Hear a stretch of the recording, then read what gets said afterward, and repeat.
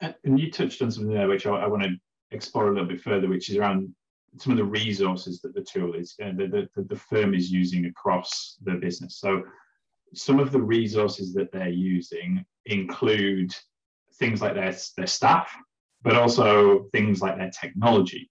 So how, how important is having the right technology going to be to support the effective execution of quality engagements, which ultimately is the, the end point of implementing this system of quality management? Well, it's, it's interesting. One of the things that the new standards have put in place is a requirement to assess your, your resources.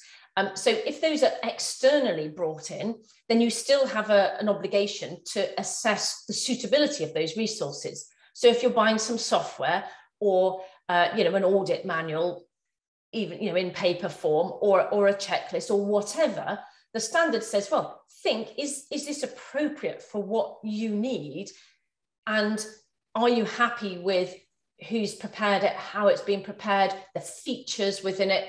So you've got to do um, some sort of you know checklist or documentation to say yeah does this work for me? So if you're then looking at a piece of software to help you because as i said from a practical point of view, it is enormously helpful to have all of these things in a piece of software rather than trying to manually handle them.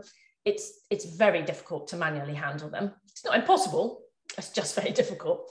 So if you're going down the software route to handle those, you know, all those different risks and responses and to be able to update them, you know, whenever a new risk arises or an old risk disappears, don't forget old risks do disappear. You can take them out again too.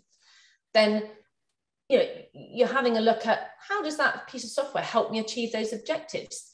And you write that down, and then you have confidence that the resources that you're buying in are achieving a purpose, that they're helping you to achieve that quality outcome that you're that you're looking for.